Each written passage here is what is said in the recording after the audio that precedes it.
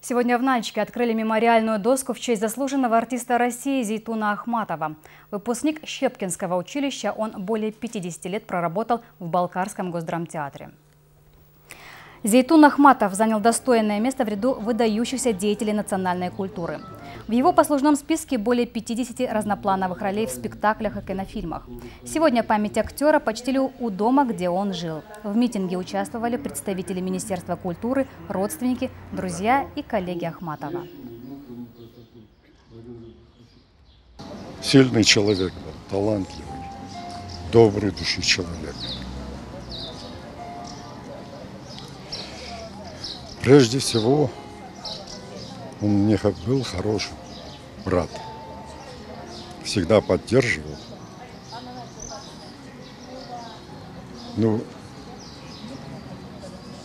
работая актером, по-моему, он самую наиглавнейшую роль не сыграл. Он был эталоном во всех отношениях.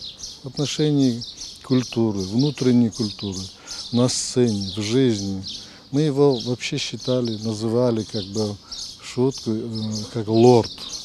Вот такой статный, такой красивый, внутренний, внешний.